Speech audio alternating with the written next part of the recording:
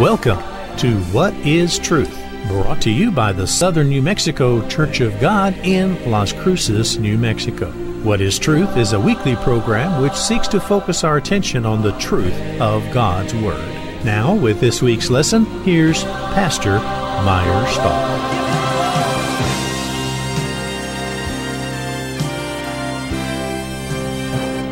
Welcome to the program. Uh, today is Pentecost. Today was the day that the church began in 31 AD, and when 3,000 Jews accepted their Savior Jesus Christ. Also, it was the day that the Holy Spirit was given to the church. Also, it is the day that the Ten Commandments were received by Moses on Mount Sinai. It's a very important day, and today I have a guest. His name is Ray Soular, and he's a member of the uh, of the Tree of Life Messianic Group. He has studied the Bible for 26 years. He is also a producer of religious music. His latest album was called The Remnant with Ash Soular. And uh, today, well, welcome to the program, Ray. We're happy to have you. It's great to be here. Thank you for inviting me. Well, you're welcome. But before we get started, we're going to offer two very important booklets. And the first one is What Do You Mean Salvation? What does salvation mean to you? The most important thing in your life is your salvation, what you will be doing for all eternity. The second booklet is Why Do You Observe Sunday? You can have these two very important booklets for free. You could also have a DVD of this program for free. We have nothing to sell on the program. Just call the number that you see on the screen and we'll send them right out to you. Well, Ray, uh, I have a question for you. How does this day of Pentecost have a relationship with the holy days in Leviticus 23? What is the relationship? Well, in Leviticus 23 and 23 4, God says, These are the feasts of the Lord, holy convocations which you shall proclaim in their seasons. So th- this is uh, very important. God specifies his holy feasts, not the holy feasts of the Jews, not the holy feasts of the Gentiles, not the holy feasts of the world, but the holy feasts of the Lord. These are very important to him. And in order to understand the word holy feast, we first have to understand the word holy. Because what is holy to God? Well, in Leviticus 19:2, God says, "Speak to all the congregations of the children of Israel and say unto them, Ye shall be holy, for I, the Lord your God, am holy." So he is telling you that he is holy. And if you really learn simple math is if A equals to C and, B equals to A, then B equals C. Let's put it this way God is eternal, and God is holy, then holy is eternal. It's not something that comes and goes. It's not holy today, not holy tomorrow. It's when something is holy, it's always holy because it is God. It was, it was holy, is holy, and always will be holy. And so these are the very important holy days to God, and we should learn more about them. Okay, how, how does, uh, what are the, old names of the, uh, the Old Testament holy day names of Pentecost? I, I uh, speak a little Hebrew, and we learn Hebrew in our congregation, uh, is Shavuot, which means in English, weeks. So it's a feast of weeks, is what it's referred to in the Bible. And it's also a feast of the gathering and the waving of the first fruits of the wheat harvest. and that has a lot of significance meanings, which we'll find out. And it's a feast also where God gives us power. And if we missed out on this feast, we miss out on the power. Imagine a day when a millionaire will show up and start handing out $100 bills. And you hear about that day, but you, don't, you forget about it. You never show up. You never, you miss out on all those $100 bills. Well, this is the day where God is going to pour out his power on his people. We don't want to miss that day. Okay, how do we count Pentecost? How is that counted? Pentecost, which, uh, of course, the Feast of the Weeks and Shavuot, is from the Greek word 50, count to 50. And in the Bible, uh, we'll, we'll take a look at how it's described here in, um, in Leviticus 23. It's a, it's a, a feast in which you, you count to uh, 50. And uh, well, what is the starting point? Where do we start at? It, it says in uh, Leviticus 23:10, "Speak to the children of Israel and say unto them, When you come into the land which I give you, and you shall reap the harvest thereof, then you shall bring a sheaf of the first fruits of your harvest unto the priest. And you shall wave the sheaf before the Lord for it to be accepted for you. On the morrow after the Sabbath, the priest shall wave it. Now, this is referring, they're back here at Passover. Right. Passover is a feast where we received salvation. And, and the name for Jesus in Hebrew is Yeshua, which is salvation. So we received his salvation on, on Passover. And it's also the feast of unleavened bread. And unleavened bread is the bread without sin. And in Hebrew, we say a very important prayer when, when Jesus, Yeshua, raised the bread at at the Passover Seder, the, the Passover dinner there, they call the Last Supper, is he said this exact prayer Praise to you, Lord God, King of the universe, who brings forth the bread from the earth. Okay, but it's very amazing that wheat comes from the earth, not bread. He was the living the bread. It was placed into the earth, and then he was going to be brought forth. So that every Jew, for all since since Moses, prays that same prayer over every time they eat, that God is bringing forth the bread, the living bread, Yeshua, from the earth and then we give praise to him for that. Isn't that amazing? It sure is. Uh, and we start from the day that the uh, that the wave sheaf was offered, yes. which was a Sunday during the days of unleavened bread. Had to be the Sunday during the days of unleavened bread. We count 50 from that point, right? Yes, and amazingly, that Sunday is actually that day of is called first fruits. And that is the day that Yeshua resurrected. And so it, it's amazing, it was already marked in God's feasts. He's already marked and delineated a day that his son Yeshua would rise.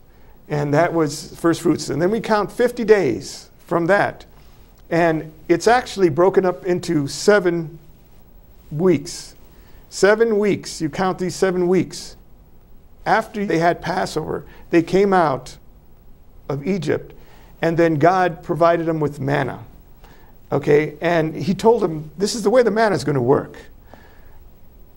It's going to appear every morning, and you have to get up. You can't sleep in.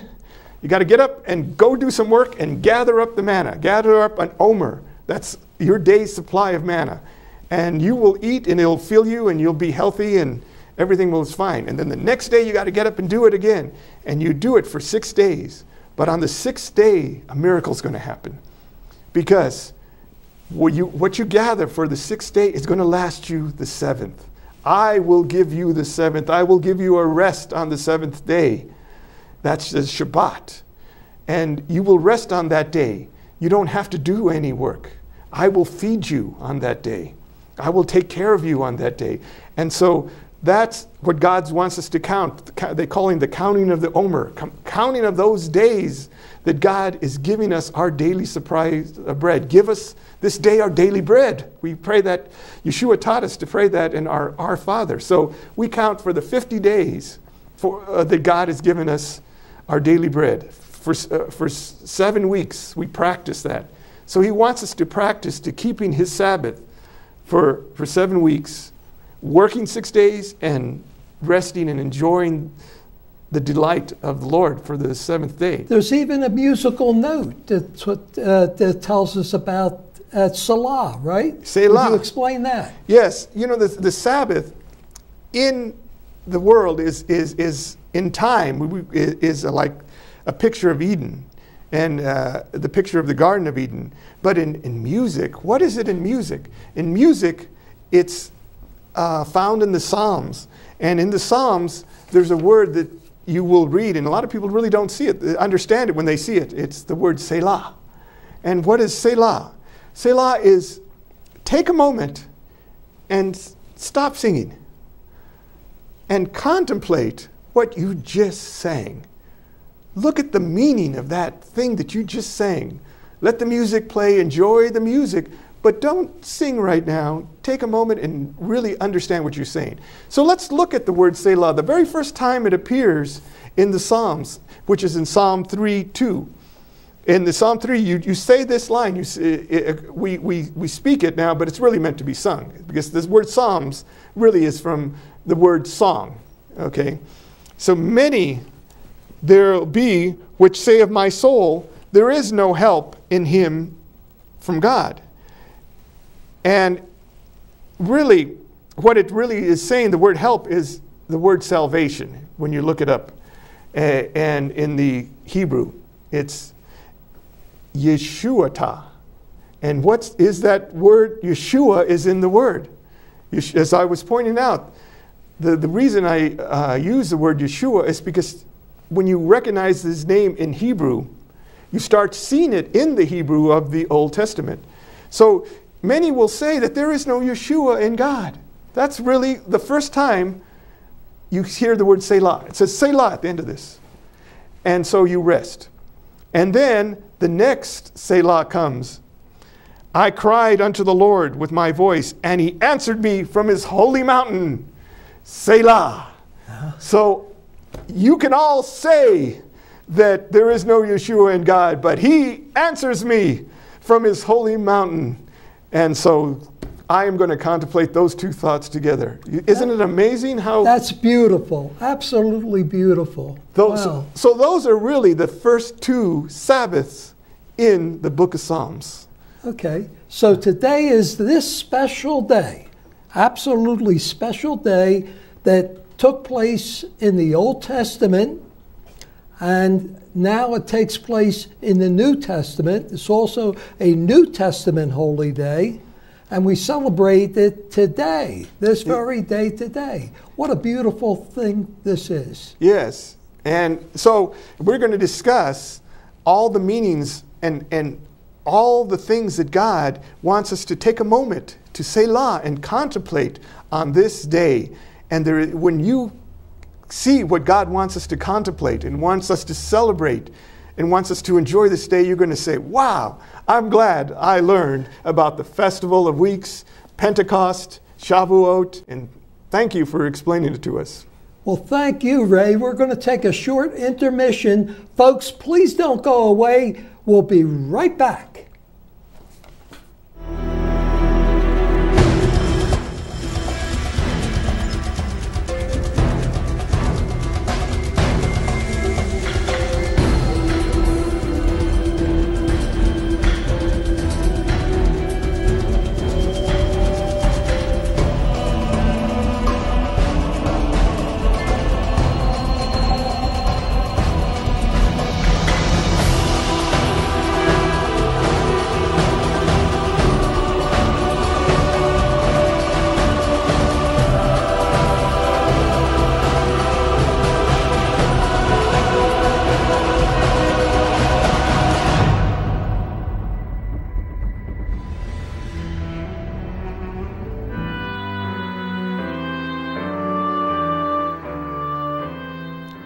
Welcome back to the program. Uh, I have as a guest Ray Soular, and uh, he is uh, our guest today. We're doing a program about Pentecost. What is Pentecost? And uh, Ray, uh, Pentecost has something to do with power. Would you explain that? Yes. And who do we get? And who is the one who actually tells us this is the day of power? None other than our Savior, Jesus Yeshua, in Acts 1 8. He says, Ye shall receive power. And after that, the Holy Ghost has come upon you, and you shall be my witnesses to me in Jerusalem, Judea, Samaria, and to the uttermost parts of the earth. So we are being equipped on this day, Shavuot, to go out into the world, to no longer be hiding, to no longer be waiting. You know, we were given salvation in, in uh, Passover. We were rescued. We were, we were cleansed of our sins and our debts paid. And now God says, You have now counted and practiced my, my, my Shabbats, my Sabbaths, and you have come from this 50 days of day by day praying, Give us this day our daily bread, till you finally come to the feast of bread, of wheat that you will make into bread. And this is the day that they were up in the room. Okay? But we, we begin first, before they were up in that, that room, let, let's just go back to the very first time that they received power. And it was at Mount Sinai. The very first Shavuot, the very first Feast of Weeks, they didn't even realize it was the Feast of Weeks, happened when God spoke.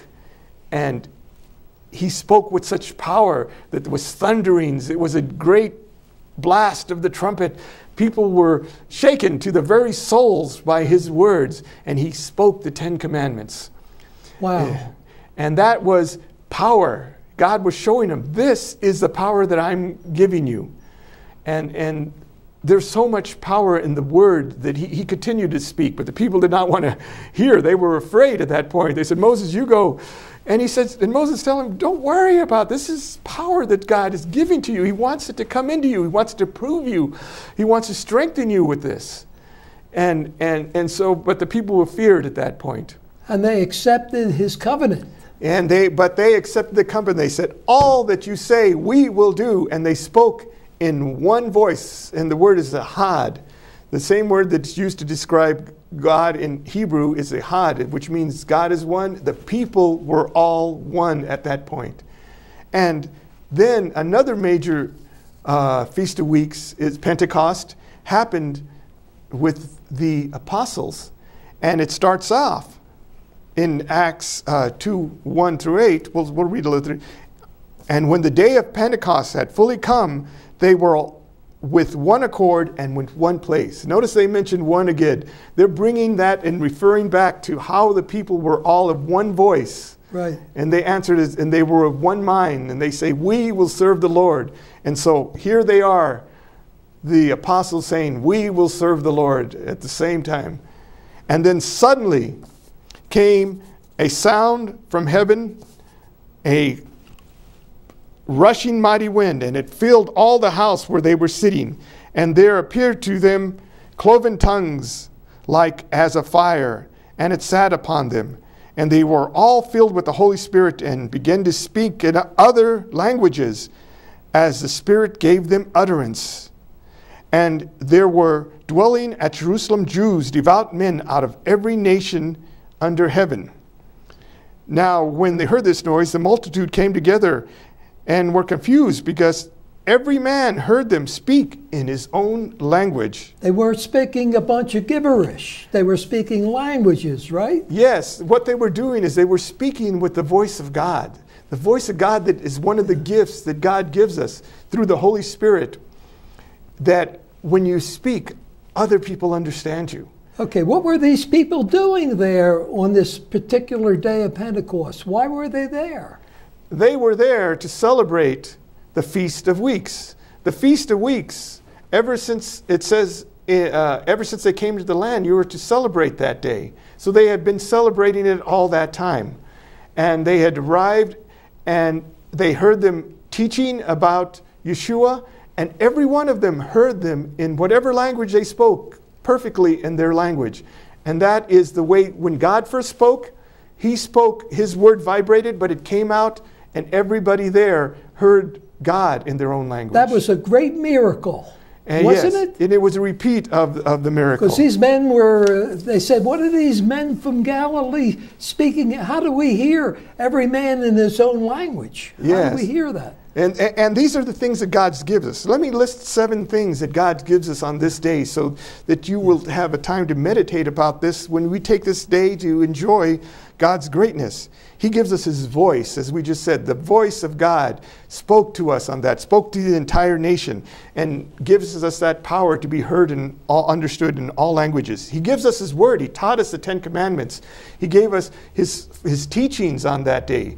Okay, he gave us the Holy Spirit. It says the Holy Spirit came into that room. Eh, The Holy Spirit is a blessing, and the Holy Spirit gives us tongues of fire. The Holy Spirit gives us understanding, gives us the ability to prophesize. He also gives us a covenant. That's when all the people joined together and said, We will do it as one. God says, I'm joining in. Together we have a covenant. Together we're going to work together. He gives us Yeshua on that day. Yeshua is going to walk with us as we go out. Every commandment in, in Hebrew is mitzvot. It means God says, I'm going to do it together with you. When you do a commandment of God, He does it together. It's from the, the Hebrew word savah, which means do together. Let's do it together. And uh, it's also the wheat harvest, which uh, symbolizes that God is doing His end of the bargain. He's already given us the wheat. Now we do our end and make the bread. Isn't it amazing that Jesus was born in Bethlehem? Bethlehem means house of bread, doesn't it not, Ray? That is amazing. It means house of bread. And, and so the, when God poured out his manna upon us, he said, When you come into the land, I'm going to give you wheat. But it really represents that God will supply us with what we need when we go forth. And he wants us to go forth. The word lechem in Hebrew means go to is battle. Go out to battle. Stop hiding and pretending you're afraid to be a Christian. Take this day, take my power, go forth and proclaim proudly you're proud to be a Christian.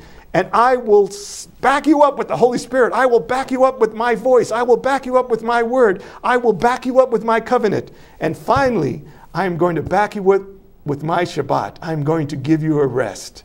I'm going to give you a chance to contemplate and to take a day off and enjoy the beauty of life as you go out and teach the world about me. And those are the gifts that God gives us in this day. He's the millionaire passing out the $100 bills. We need to show up. We need to recognize the Feast of Weeks so that we can come and collect all that He wants to willingly give us. Well, Ray, we are celebrating that day today. Yes. We are meeting at 12 o'clock today, and uh, we uh, at 1701 East Missouri. At 12 o'clock, we're going to celebrate Pentecost. And every Saturday, every Shabbat, Sabbath, we meet at 1 o'clock. Uh, please join us. Bring your notebook, a pen, bring your Bible, bring your questions. We'd be very happy to answer any questions you have. And now, as we come to the close of the program, I want to offer again these two very important booklets. What do you mean salvation?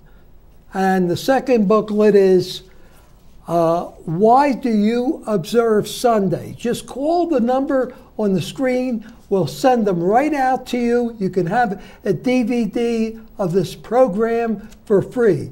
Well, Ray, I want to thank you so very, very much for appearing today as my guest.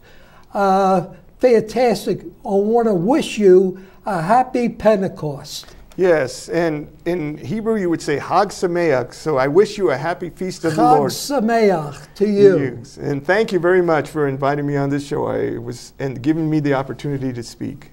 Fantastic. Until next time, this is Meyer Stahl of the Southern New Mexico Church of God saying goodbye, my friends.